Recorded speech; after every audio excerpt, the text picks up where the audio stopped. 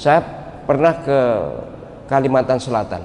Ada caleg yang jadinya digotong oleh orang banyak didorong oleh orang banyak jadi. Ada di Sulawesi Selatan belas gak apa-apa gak, gak bayar apa-apa jadi. Tapi setelah jadi tentu ya berbakti kepada sesama berbagi lah berbagi bukan berbakti berbagi pada sesama. Zong begini ya memang saya mumpung ingat ini Pak Zainullah ada juga ya. Mana Pak Zainullah tadi? Kaliannya kelihatan baik gini. Kalau penjenengan jadi caleg cobalah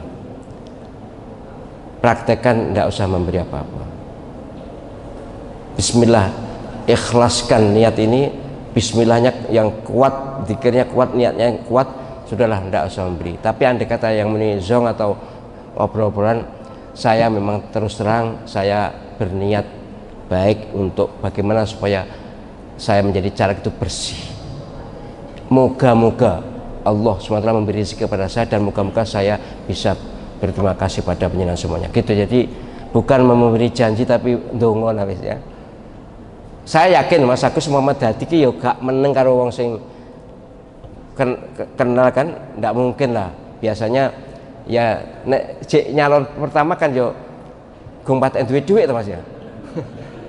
Umpama punya di samping itu bukan soal duit punya tidaknya tapi kan nek gak duit duit kan iso utang. Banyak kok yang utang. Tapi kan ingin bersih.